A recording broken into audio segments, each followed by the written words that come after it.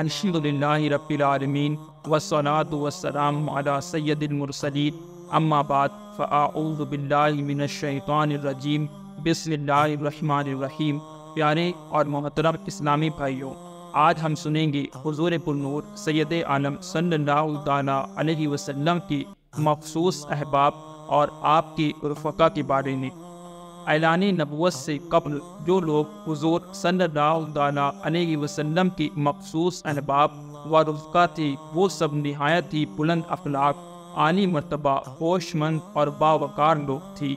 इनमें सबसे ज़्यादा मुकर्रब हज़रत अबू बकर सिद्दीक रदी अल्लाह थी, जो बरसों आप अलैहि वसल्लम के साथ वतन और सफ़र में रहे और तिजारत नीज़ दूसरे कारोबारी मामलात में हमेशा आप वसल्लम की शरीक कार और राजदार रहे इसी तरह हज़रत खदीजा रदी अल्लाह के चचाजात भाई हज़रत हकीम बिन निज़ाम रदी जो कुरैश के नहायत ही मुआज़ रईस थे और जिनका एक खसूसी शरफ ये भी है कि उनकी विरादत खाना काबा के अंदर हुई थी।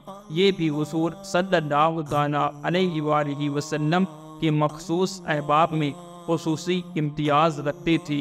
हज़रत जमात बिन सानबा रदी अल्लाह जो ज़माने जाहलीत में तिबाबत और जर्राही पेशा करते थे, ये भी अहबाब ख़ास में से थे। हुजूर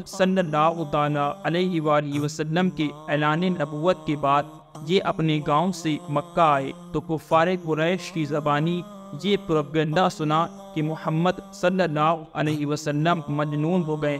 फिर ये देखा कि हुजूर सल्लल्लाहु अलैहि वसल्लम रास्ते में तशरीफ़ ले जा रहे हैं और आप सल्लल्लाहु अलैहि वसल्लम के पीछे लड़कों का एक गोल है।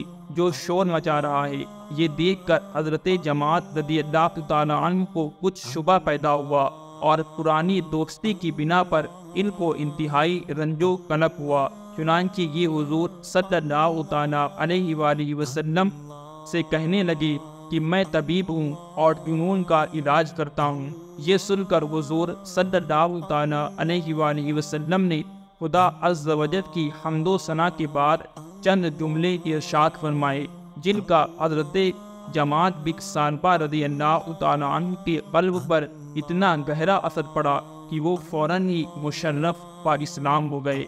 हज़रत कैस बिन साइब मखजूमी रदी अल्लाह तजारत के कारोबार में आप सल्लल्लाहु वसल्लम के शरीक कार रहा करते थे और आप सल्लल्लाहु अलैहि वसल्लम के गहरे दोस्तों में से थी।